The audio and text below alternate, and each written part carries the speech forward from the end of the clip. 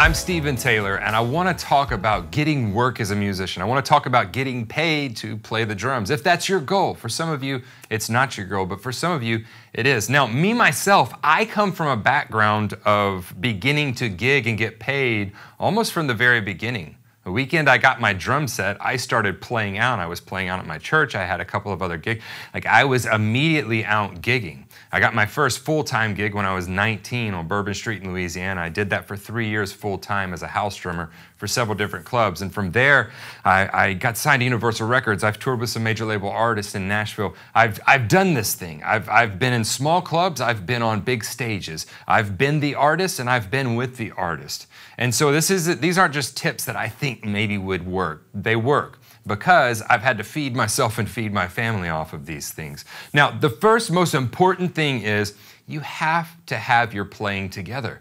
The essentials have to be there. If you don't have good time, if when you play the music doesn't feel good, if you do a drum fill and, it, and it falls out of time or you drop a beat, we're probably not to that point where we need to start going out and trying to get gigs. But if you've put that work in, if you feel like you're ready to take that next step, then a couple of these tips are going to help you. The first tip and the biggest tip I can give you is be a good hang. All right? These others don't matter if you have a crummy personality. Like if, if you are just, if you're horrible to be around, no one's want to hire you for a gig. No one's to take you out in a van or a bus to go on the road. They just don't want to be around you. It's really hard, especially when you're on the road, to have somebody with a negative outlook. And I can't tell you how many musicians I know that are super talented. Like they're more talented than me. And they wind up losing consecutive gigs because their attitude is all wrong. So you have to always check yourself and go, man, am I being a good hang? That doesn't mean you have to put up with everything, but that does mean that you have to have patience. That does mean that you have to show up and do your job well and smile while you're doing it. You have to be friendly. You can't be this weird guy over in the corner. You do have to talk to people. So that's my first tip for anybody that's coming in, that you, you have to be a good hang. The second tip is network, network, network. You can, you can never network too much. Now me, I, as soon as I moved to Nashville, I got some cards printed up. You can get that printed up online for super cheap now. And they call it the Nashville handshake. So every musician you meet should leave with your number. Don't push yourself, just say, hey, I play, here's, here's my card if you want, I ever want my information.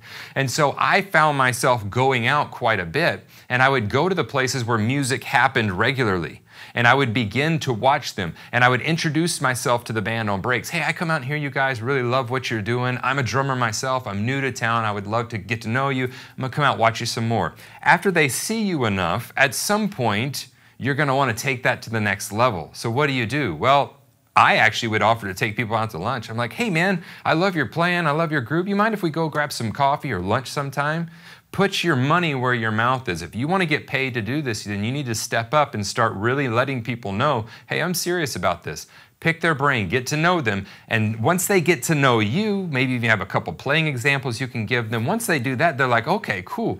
Then you get put on the sub list. And once you get put on the sub list, that's when things really start to roll. So I can't say enough about networking. The thing you could do right now to start networking is go out. Go out and find the places where music is happening and introduce yourself. It's not enough that you go sit in the background. You actually have to meet these people and you have to let them know that you're looking for work. Another thing is carve out your niche. So in other words, don't, don't try to be all things to all people all the time.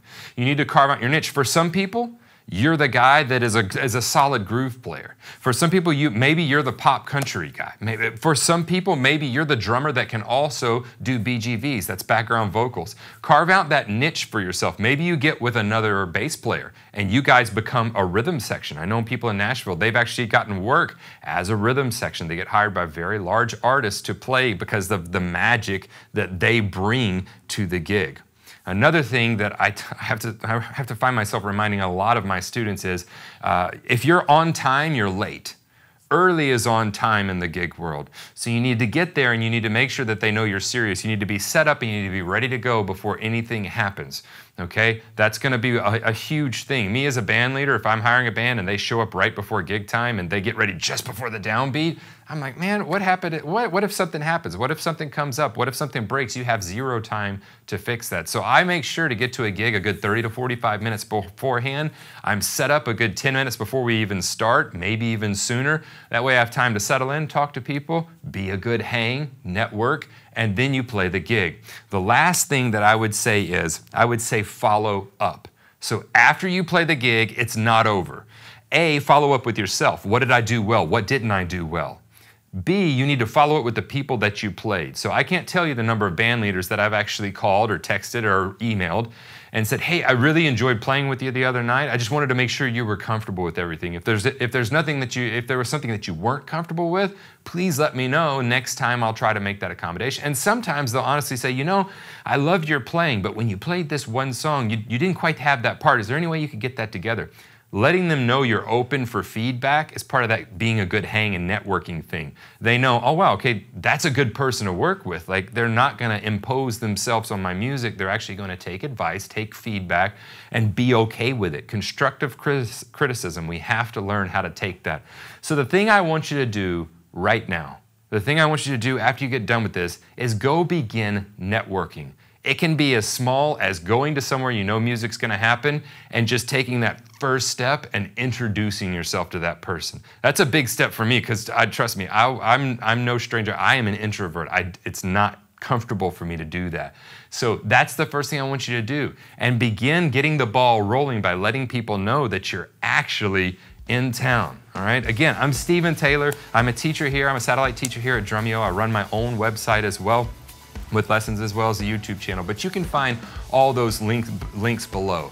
Be a good hang, network, make sure that you're following up. All of these things are gonna lead to you being able to make money doing what you love.